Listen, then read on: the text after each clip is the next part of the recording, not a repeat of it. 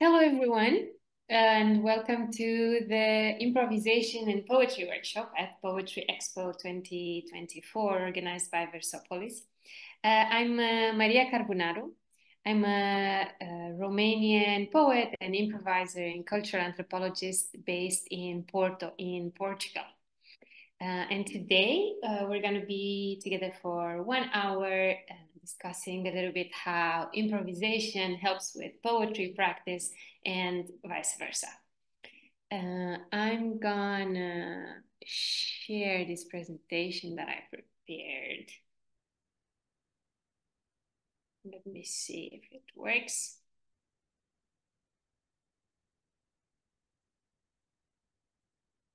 Uh, are you seeing the first page? Yes. All right. Um, so uh, just to, to start with uh, what are we going to improvise uh, today? Um, we will have uh, three parts of the session. One that is um, dedicated to how can we awaken more spontaneity in our writing practice using improvisation principles and practices. Uh, this is going to be a bit of sharing from both of my work uh, when I'm using improvisation and poetry in creating learning experiences for people, but also from my personal practice uh, and what I've seen it works and it helps uh, bringing me to life. Um, and then in the second part, we're going to have a series of games and examples of poems that, uh, in my own experience, came out of playing these creative games. Uh, and then at the end, if we have time, we can take some questions from you.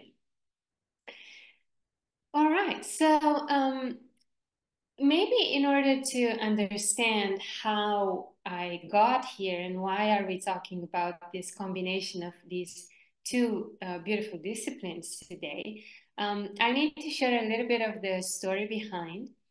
Um, so be before living in Porto, I uh, used to live in uh, Romania and in Cluj in Transylvania, um, together with some friends of mine in 2015, we co-created an organization called Education Studio. Uh, and there we, we designed these creative and cultural spaces um, where people can can experience and can practice skills that we need in life, like creativity and communication. Um, and maybe school didn't um, uh, offer us the possibility to train that so much. And uh, I coordinated Education Studio until 2020. And over these years, I got the chance to meet improvisation theater and spoken word poetry. And it was um, a very strong encounter for me with both of these methods. Um, and I fell in love with them and I brought them to the studio where we created um, two different learning programs for each of them. There were like three months um, of weekly uh, workshops uh, finished with some community events. Uh, one, it was called Actitude, uh, a school of improvisation, and the other one, Conversations. Uh, which was related to spoken word poetry. They both had weekly workshops, they both had community events at the end. Uh, and we've, we've been doing this for years, and uh, uh thousands of people from the local community and from the other European countries, because uh, we were partners in several international projects, came to, to learn these two methods. Um, and in 2020, I kind of felt like going for something new, for, for a new journey in my life. So I applied to uh, the improvisation school in Calgary, in Canada. Um, there are kind of two uh, epicenters, let's call them, of uh, um, improvisation. One was there in Canada, and one was in uh, Chicago um, in the 30s, where Viola Spolin and in Calgary, Keith Johnstone, uh, two of the mentors that uh, I'm looking up to, um, put together a very consistent methodology of improvisation. So it was like this super amazing big dream. And I applied and I got accepted. And it was such a strong, yeah, inspiration that I started to close everything that I, I have uh, built so far in, in Romania. Um, I bought a plane ticket to Canada. I um, uh, paid a fee for the school. I found someone to subrent my room in Cluj. Um, I closed all my work uh, in the organization and some other, some other, with some other partners. And then pandemic came and I couldn't go anymore. and I was faced at that moment with a very um, improvisational choice to either go back to the story that I just closed and reopen the chapter and continue that way, or take a, a, leap of faith and open a new chapter and jump in the unknown. Um, and I chose the second, and that's I got to Portugal, where I thought I'm gonna live here for four months, after which I'm gonna go to Canada um, we kept in touch with with our teacher from the school there every month, hoping that it's gonna happen next season. Next season. Um, the school finally happened uh, last summer in 2023, um, and I didn't go anymore. Um, but what what happened and, until this moment, um, I can go to the next editions, uh, is that ironically, you know how how life is sometimes. Um, I applied to the improvisation school, and I had to kind of study the same curriculum, but with the School of Life. And over the last three years and a half that I've been here in Portugal, I I, I was faced with with choices and with a big unknown uh, that I had to to, to deal with it in some way. And one of the ways that I that I managed to, to deal with all this uncertainty and creating a new story here was asking myself, well, what would I say about this situation in a workshop of improvisation or in poetry? And this question kind of um, sparked my creativity and took me out of, um, oh my God, I can't do this uh, type of mindset and I um, managed to cultivate a new practice of improvisation that also helped with my practice of poetry. So what I'm going to share today is based mostly of the on the uh, 14 years of giving workshops with these two methods, but mostly on the last three years and a half, where everything that I used to to practice in a in a safe environment in the training class kind of got polished and tested by by life. Um, so tonight uh, I'm going to share a few tools and few ideas that worked uh, for me and that help in general to deal with the big amount of uncertainty that um, creativity brings. Um, and I chose to uh, to start with uh, to sum up the, the, the view of what all these years taught me, a quote from Viola Spolin in Improvisation for the Theater, where she says, We learn through experience and experiencing, and no one teaches anyone anything. If the environment permits it, anyone can learn whatever he chooses to learn. And if the individual permits it, the environment will teach him everything it has to teach. Talent or lack of talent has little to do with it. We must reconsider what we mean by talent. It is possible that what is called talented behavior is simply a greater individual capacity for experiencing. And from this point of view, it is in the increasing of the individual capacity for experiencing that the untold potentiality of a personality can be evoked.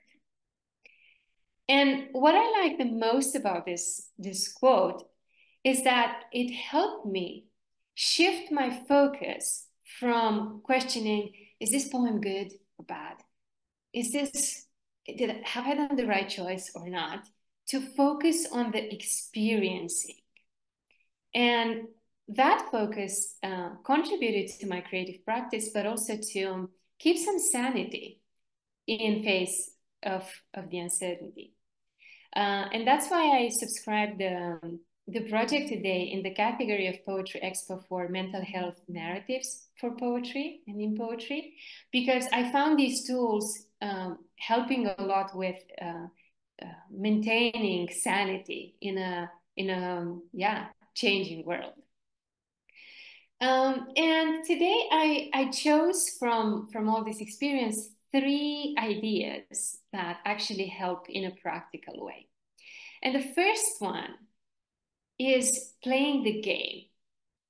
And the, the thing that um, shifting a focus from, okay, and now I'm gonna go to the desk and I'm gonna write this poem and I'm gonna look at the white paper and I hope I'm gonna produce something. The shifting from producing to playing really relaxed and calmed down my nervous system in, in uh, tough moments. And what else it, it, it, has done to me on top of this is that it liberated creativity. Because when we're playing the game, what happens in improvisation is that we are bound to the rules of the game. And as long as you respect the rules, you play by the rules, anything else can happen. And that's liberating because you can play the game in whatever whatever way you want as long as you're respecting the rules. So the rules function here kind of like the structure that that we need in poetry to let ourselves kind of go with the flow, find inspiration and intuition. The other, uh, the other thing that uh, playing the game offers is that um, it gives this opportunity to go beyond self-judgment and to um, not approach us in a violent way, self-sabotaging, uh, because it gives us specific things to evaluate in our writing. Uh, at the end of a writing session, if we're playing the game, the question that we can ask is, did we play the game? Did, did we achieve any, any results? Did we respect the rules? The question is not, uh, is this poem good or bad? Which is a crushing question for a poet, right? Um, and this specificity kind of helps to calm down and to take something from this self-evaluation and move forward to reorganize our mental and emotional resources so we're healthy on the way. Um, and um, a suggestion for, for uh, practicing this principle is first to find a game. And nowadays we have so much, so much access to so much great work uh, you can find a game in many improvisation books and websites, but also many creative writing uh, so sources. They have this kind of prompt-based uh, type of exercises. But if we don't find anything, I don't think we should get down uh, with it. We can create our new, our own game. And um, at the beginning, even of uh, a session of 10 or 15 minutes, we can start ourselves with an improvisation game only by choosing one rule. Um, for example, um, write a poem only with words that start with A. That, that sounds crazy, but that can, can trigger your, your creativity. Um, or write a poem only with one word on each line. How would that look like? And this is the, the magic because as long as you're playing the game, it, it also becomes fun. And even if at the, at the end, it's not like the best poem of the world, but at least the time that you spend there, it's good enough to move you forward into the editing process.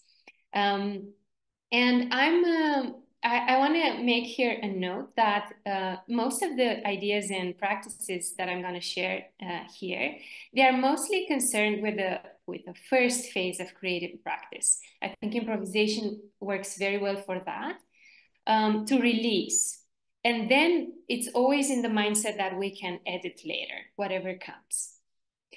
Um, and another um, another suggestion here is to put a timer. This is another good rule. Sometimes when we're writing, it's like ah, you know, you can one day you write for five minutes or for a page or for 500 words, and one day you can't do anything. So it's so so in inhibiting uh, but as long as you, you put a five minutes and you play that game for five minutes, then at the end of it, you have something, and, and that's enough to move you forward. Um, and to actually see how this works in practice, I want to share with you a poem that I wrote and that came out of playing such a game.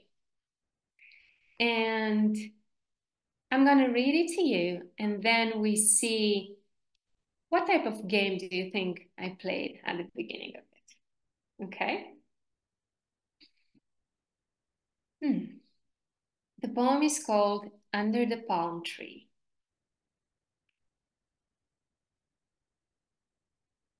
Linen hammock, summery air, one lonesome reggae song flying over the palm tree, leaving behind a silky trace of contratempo. I'm here, and I don't hear it anymore. The voice of worry. Could you be loved? took its place. I remember how once my vision was blurry with hurry dust where have I been all this time? Hmm. Nothing. Nothing. I, I just imagined my mother getting sometimes as relaxed as this. What kind of child would have I been?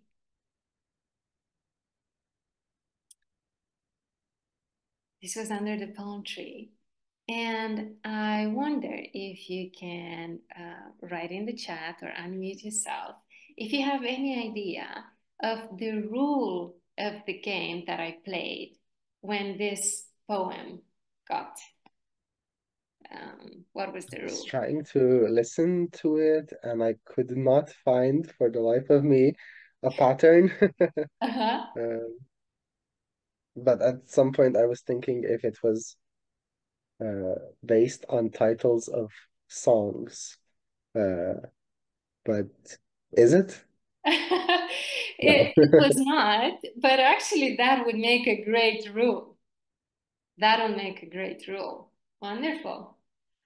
Um, the rule itself was uh, write two words on the same line. Um, I'm going to share uh, the poem just to have a vision about it. Uh, and also, I it was interesting for me to see also when I broke the rules. and what because that's very interesting when you have a game in improvisation you also see in which interesting ways can the rules be broken and for me for example when i I'm I'm quite chatty and I like words. Uh, that's why I chose poetry and improvisation.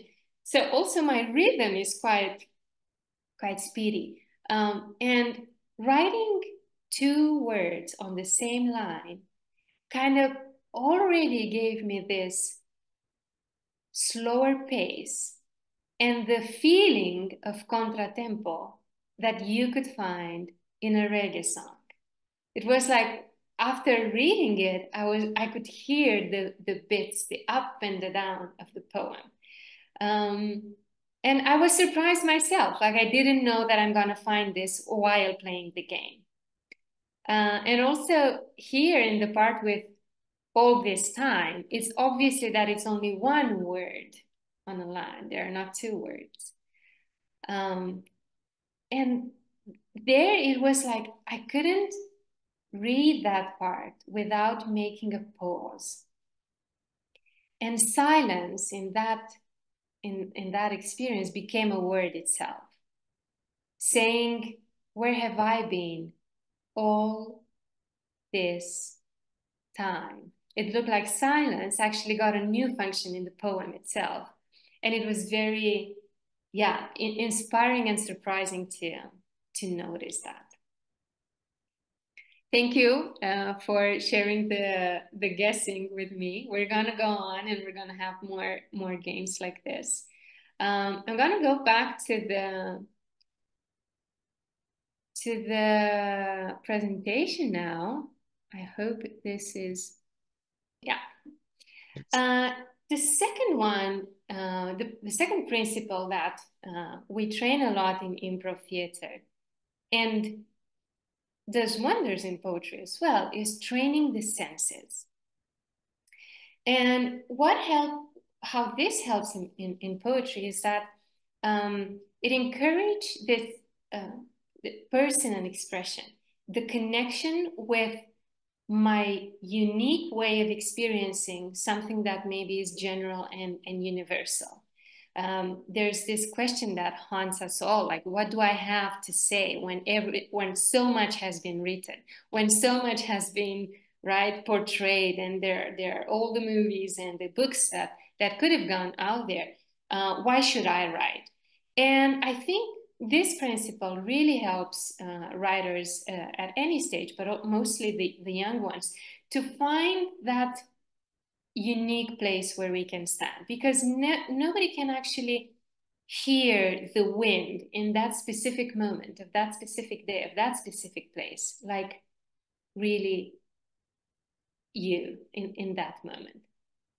And further on what it does it does it's that it makes uh, uh, it gives the chance for our writing to be specific and to have a rich Im imagery uh, it builds this sensorial vocabulary. And uh, if we're practicing this long enough, instead of uh, writing um, a bird sings in the tree, if we're hearing the same type of the bird, we can understand at one point that maybe it's a, um, um, let's say a, a magpie, um, a specific one in an oak tree.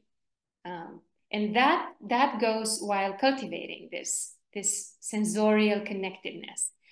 And the connectedness is something that is also very enriching for, for the poet because sometimes it, it can feel isolated. Um, also, I experienced this uh, during the pandemic where we got a little bit out of our routines of connecting with people. And how can we feel uh, we are connected and we belong? And this was a question of uh, very powerful for me in my poetry writing um, about belonging while I moved to another country uh, during the pandemic. How can I feel connected? How can I feel this place receives me?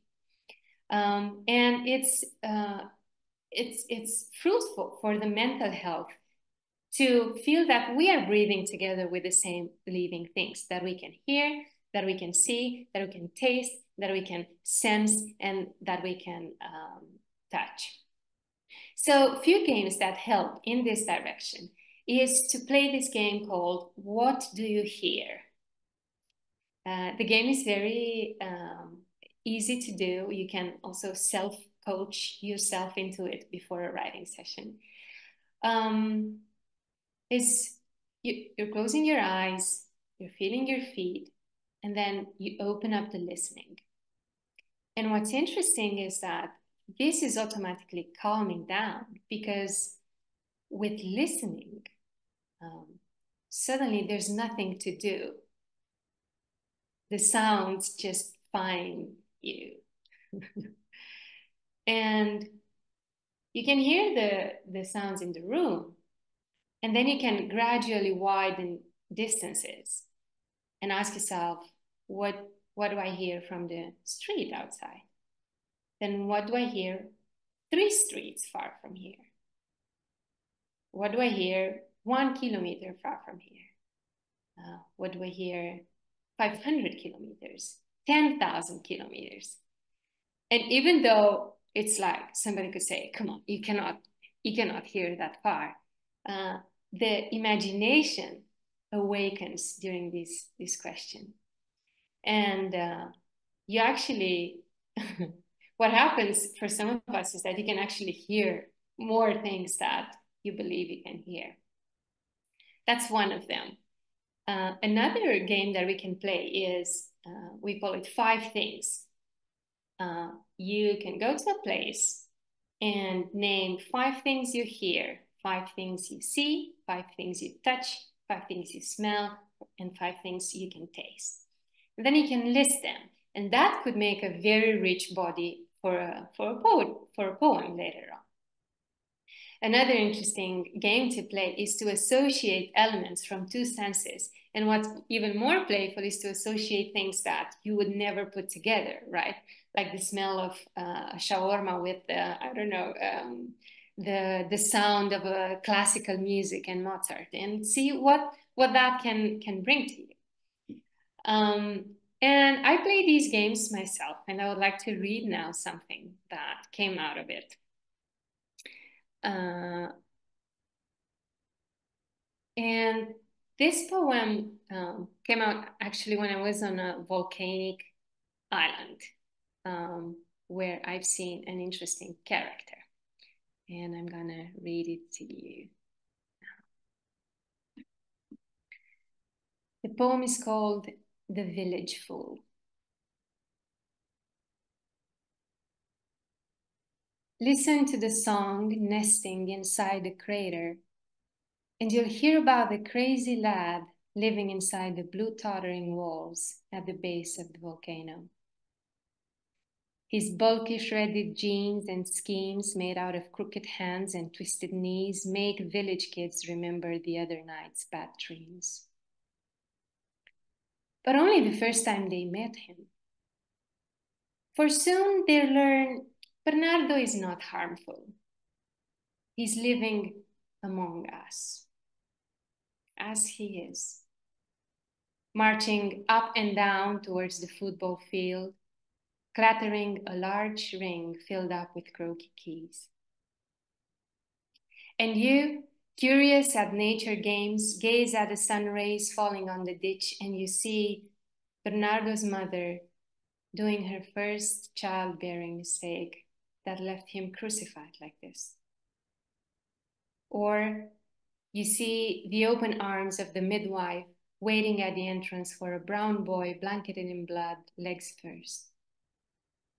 Or you see the father coming back that night from the rowdy tavern sharing a common wall with the town hall, met by some small, large eyes that disturb him back into senses and hits daddy's little chump with a cheap bottle of wine.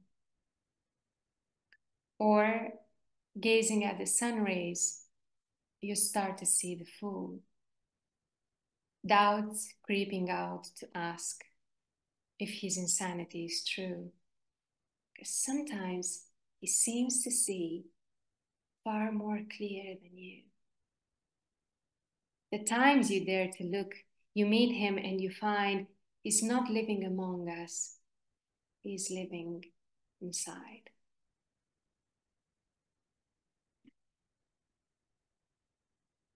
Now, back to you. Uh, what game or games do you think have been at the root of this poem? And I want to mention that all the poems that I'm going to read today, uh, they went through a process of editing. So uh, it's an unrealistic expectation to think that we're going to play a game and now it's going to uh, come out in a in a fo- in a form that we don't want to work on anymore. This is not the message that I want to transmit. None of the poems that I'm reading today um, are like this, but started like this. Yeah. So now coming back what what rules do you envision? Hmm. So are is this game related to the senses? I mean, uh, are we in this part or is it not related to this? It is. I think uh, from from my side, yes, it is related. Mhm. Okay. Um, could you maybe show the poem uh, so that I can see the words? Uh-huh. I can see, maybe I can uh, I can break the Yes. break the code. mm-hmm, mm-hmm, mm-hmm. Let me. Do you see now? I see it now, yeah. Okay, cool.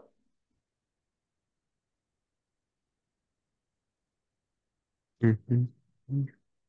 All I notice is that there's a lot of um, locations that are mentioned, uh, or like setting apart distances from where something is and where something is happening. Mm. That's a nice lead.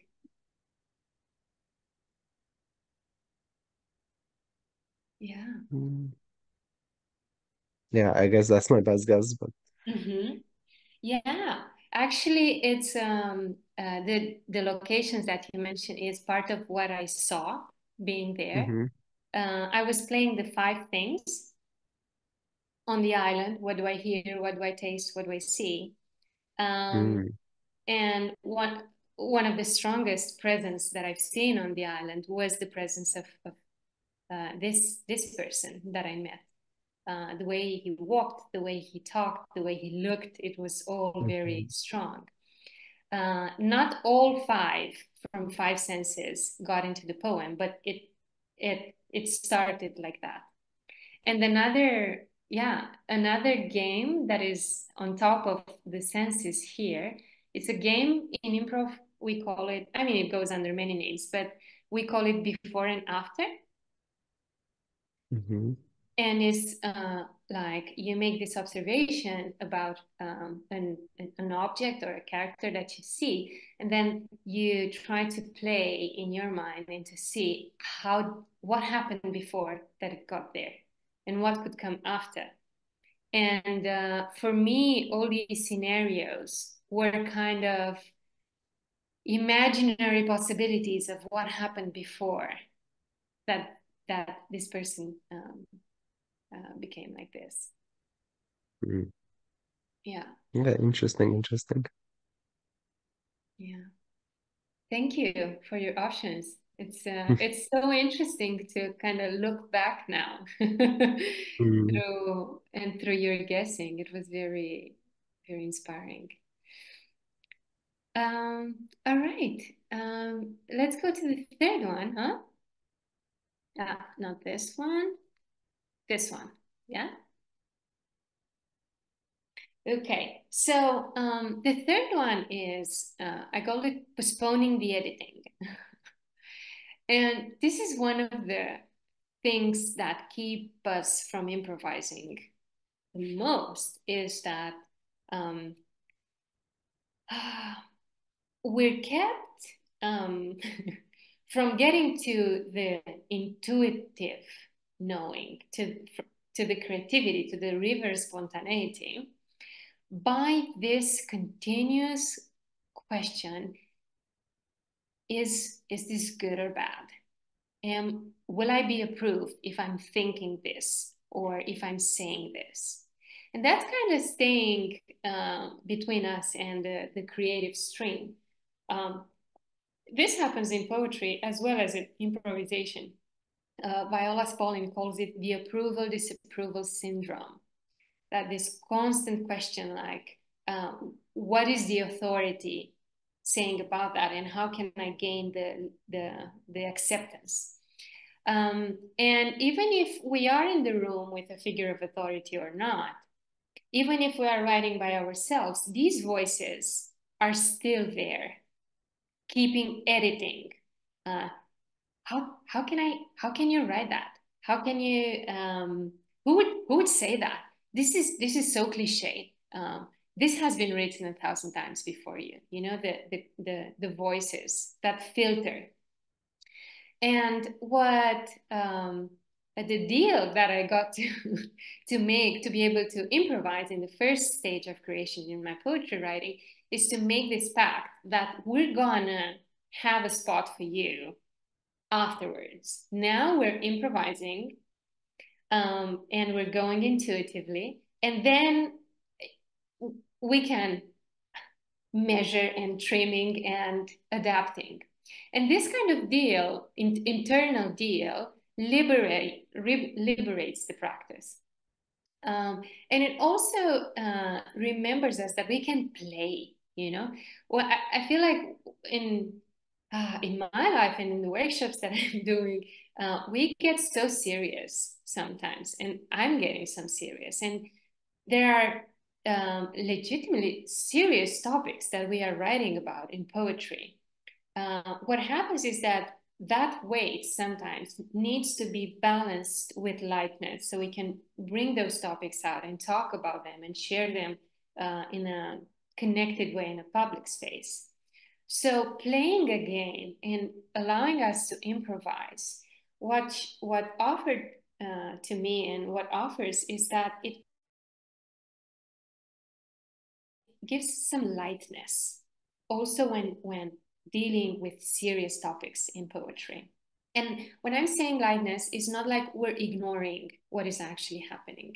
It's more a way of breathing and, and uh, making space for more things to uh, show themselves in the space, in our writing or in our improvisation practice.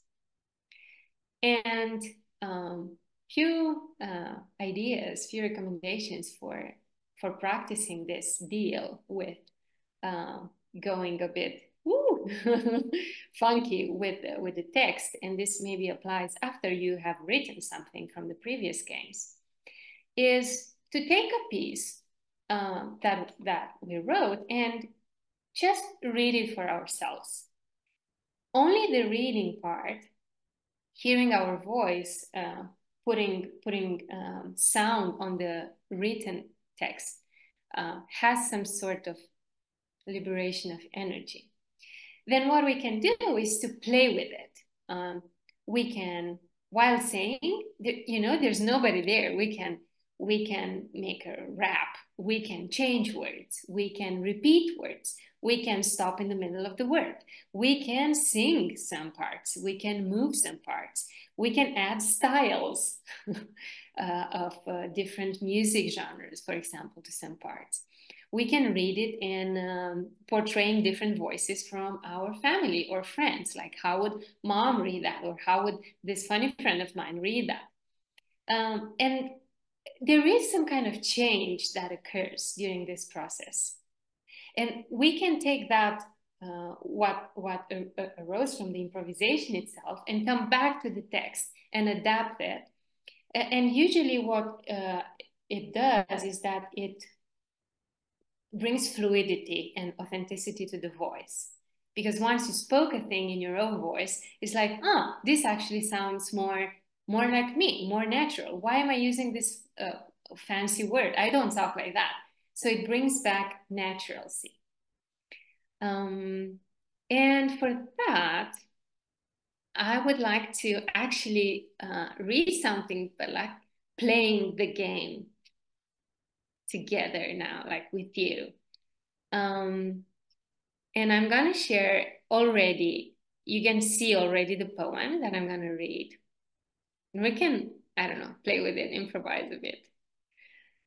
So, this is a poem that actually started from um,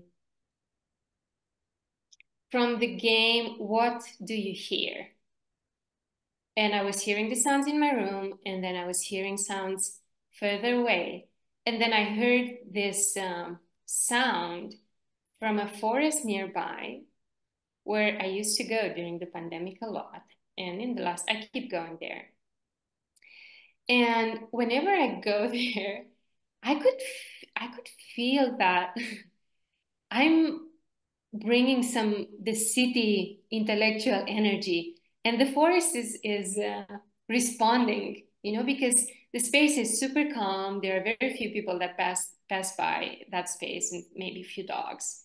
And one day, I could actually see myself like I was coming in in this marching way, uh, stamping with my feet, and then I heard quite far inside of the forest when I was at the entrance, this sound.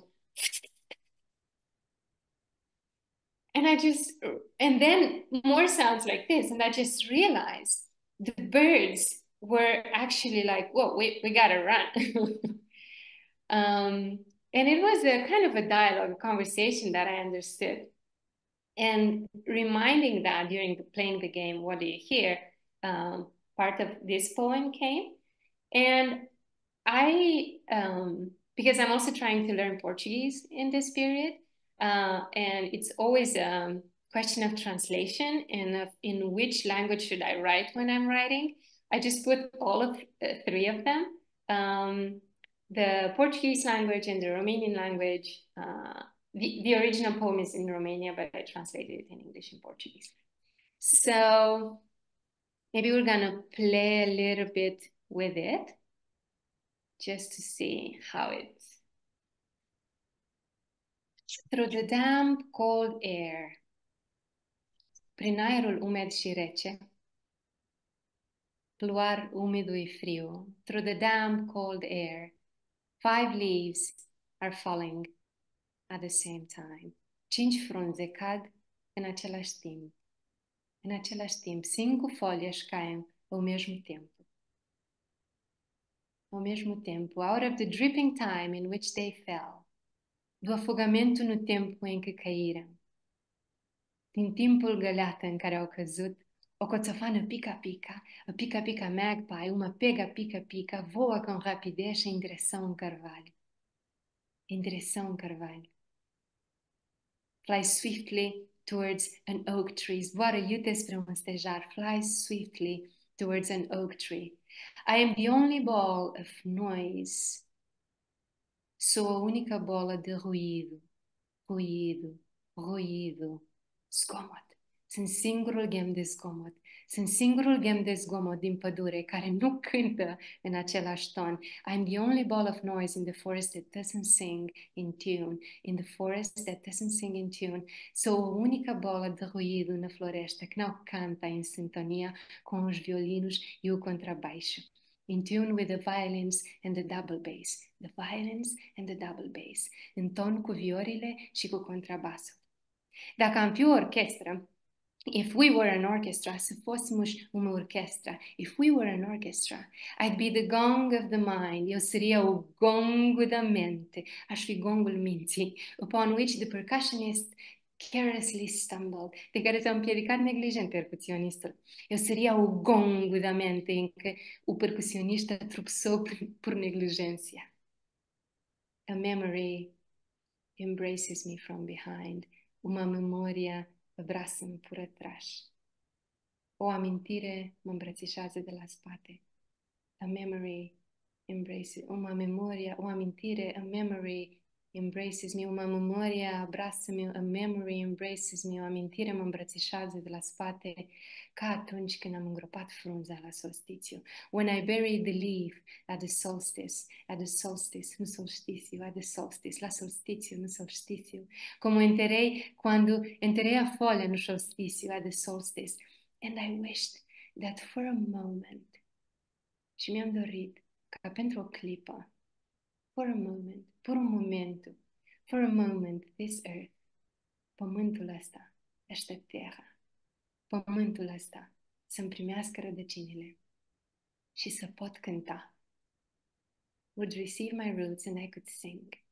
Would receive my roots and I could sing.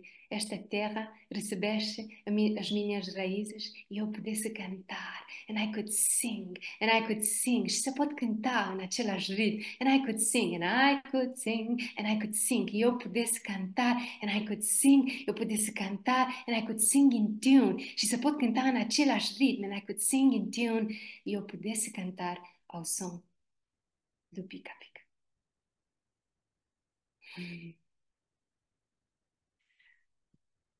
Wonderful. Wow. It was really nice how you um uh, simultaneously read the poem in all three languages. Uh, it mm -hmm. was very not um,